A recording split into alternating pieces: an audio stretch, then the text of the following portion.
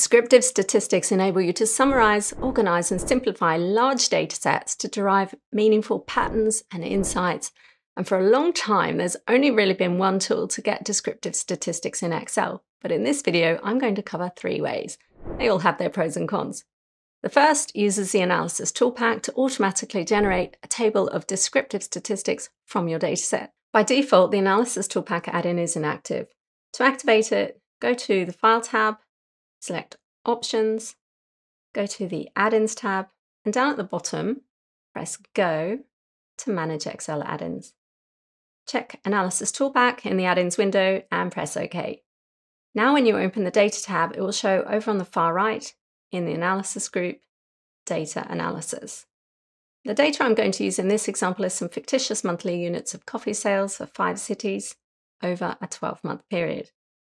To insert descriptive statistics, I select Data Analysis, and then from the list, select Descriptive Statistics and click OK. In the dialog box for the input range, select the cells containing your numeric data, including the heading. My data is in a column, so I'll leave grouped by as is, but it can also work with data in a row. I included the column label when I selected my data, so I'll keep labels in first row checked the output range is the cell I want the descriptive statistics placed into, which I'll put in the current sheet. You can also choose to put them on a new sheet or a new workbook. And then select everything you want in the table from summary statistics, confidence level for mean, kth largest and smallest. For example, here you could say you want the second largest or second smallest.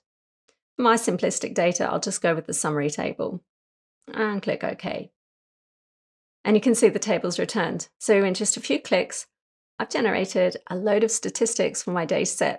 Pretty easy. However, as I select the numeric cells, you can see in the formula bar, they're all hard keyed, which means if your dataset changes, you have to run the descriptive statistics again. They also don't come with any formatting, so you'll need to do that manually. Now, while this summary table gives you a bird's eye view of the entire dataset, it's still limited if we want to categorize the data. One option is to use the Analysis Toolpak to create a frequency table of the data grouped into bins and displayed in a histogram. To support this, we have to build a summary table with the upper limits, which I've already done here.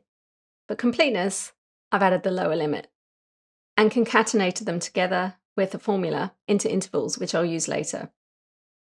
To create the frequency table and histogram, go to the Data tab, Data Analysis, and choose Histogram. The input range are the cells containing the values, including the header. And the bin range is the upper bin limits, including the header. The output range is where you'd like the frequency table placed. And I'll check the chart output as well. But notice here you can also select Pareto chart and display the cumulative percentage. I'll leave mine as is and click OK. And Excel inserts a histogram chart. This is actually a regular column chart as opposed to the newer histogram chart that came out with Excel 2016 that we can see here. And because it's a regular chart, I can double click the columns to open the formatting pane. And in series options, I can set the gap width to zero. Under fill and line, I'll also set a solid line border on the columns just for clarity. I'll also remove the chart title and legend and leave it at that, but you can do more formatting as required. One thing you might like to do is replace the upper bin values in the frequency table with the interval labels.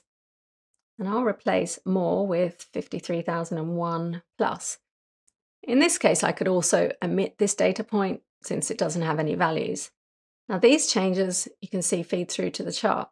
Let's make the chart wider to accommodate them. While the descriptive statistics and histograms are super easy to create, they don't update if the data source changes and you can't link them to slicers to create dynamic results. Another way we can create descriptive statistics is using pivot tables, which also gives us more flexibility, and we can team them with slicers to make them interactive. Let's take a look. Using the same data, I'll insert a pivot table on a new sheet. I'll put the sales field in the values area seven times.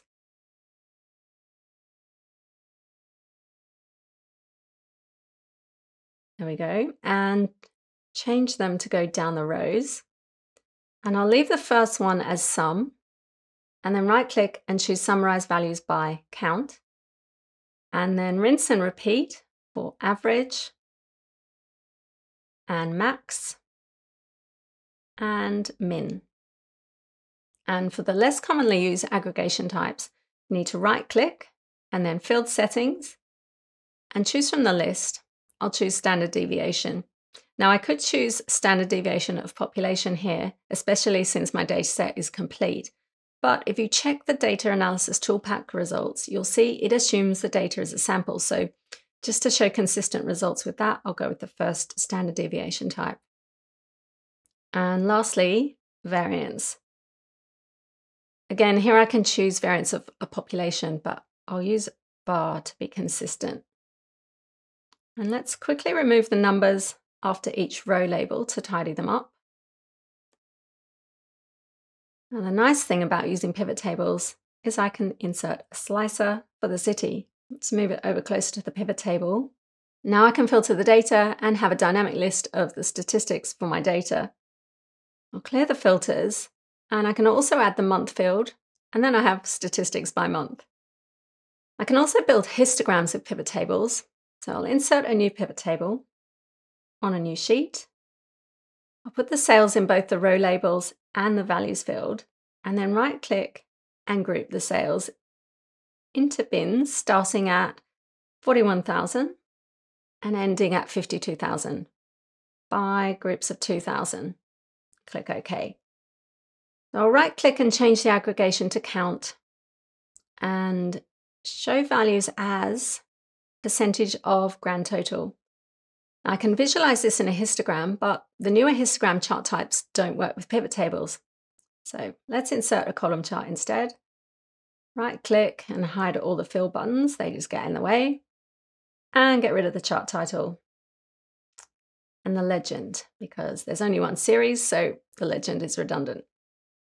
I'll double click the columns to open the formatting pane. Here I'll change the gap width to zero. And on the fill and line tab, I'll give it a border. Let's just bring back the field list so I can insert a slicer to filter the data.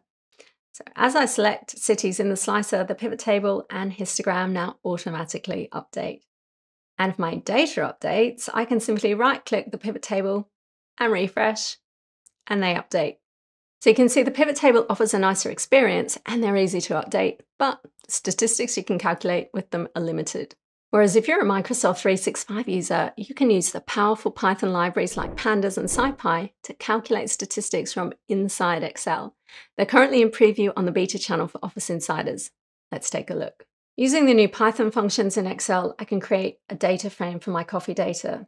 I'll use the keyboard shortcut Control-Alt-Shift-P to go into Python mode. I'll name the data frame DF and I can reference the coffee sales data on the Data tab. Excel puts in the new Excel function for me.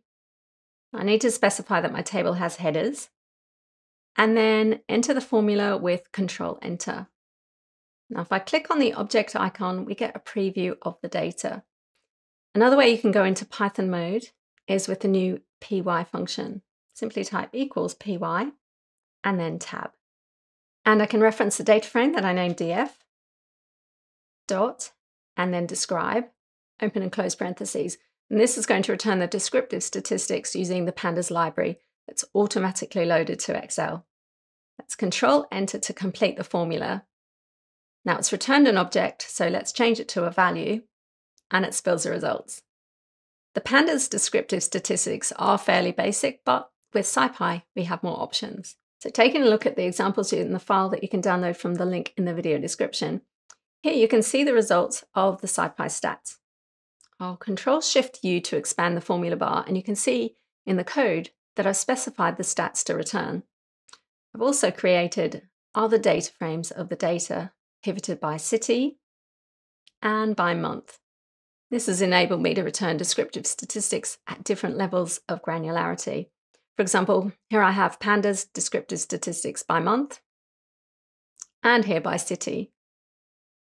This is just the tip of the iceberg when it comes to Python in Excel, and I go into a lot more detail in this video, including how to create these amazing charts. So check that out next. Thanks for watching. I'll see you in the next video.